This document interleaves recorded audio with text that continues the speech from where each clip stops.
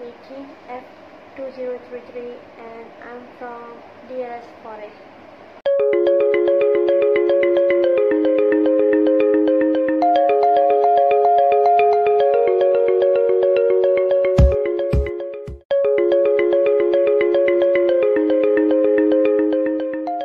The market forces like size of market, geographical concentration of potential customers, and quantity demand affect the decision to choose channel of distribution.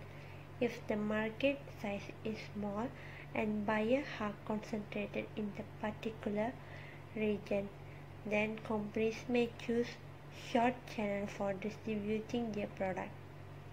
On the other hand, company dealing in consumer product will have a larger market size with consumers scattered over a wide geographical area.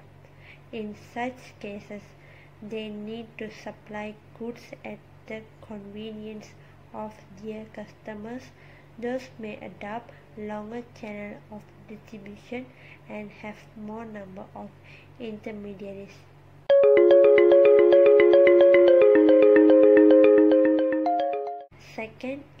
Product.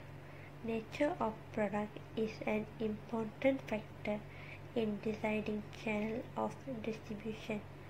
Consumer products are usually standardized, less expensive, and non-technical have larger number of buyers spread over wide geographical area will require wider network of channels involving many middlemen to sell and distribute product.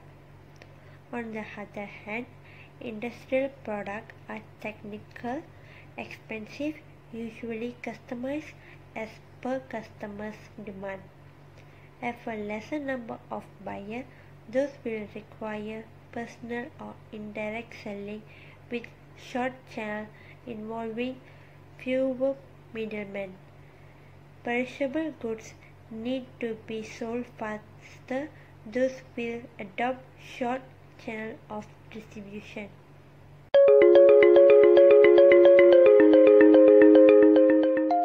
Third is competitive factor. The decision to choose channel of distribution is affected by the channel adopted by competitors in the same industry. It is the company policy which decided whether to go with the competitor or different from them. A company may choose to adopt the similar channels of distribution which are used by other business concerns in the same industry or may use different channels to be different from other firms. For example, some firms may choose the selling through retail shop where other manufacturers are also selling the product whereas other may choose different channel like door-to-door -door selling.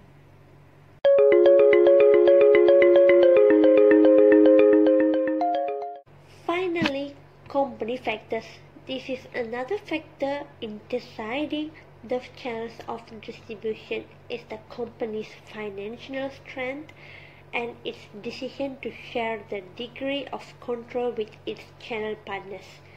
To sell product through direct selling, company will require huge investment to open their retail outlet and employ large workforce to sell its product.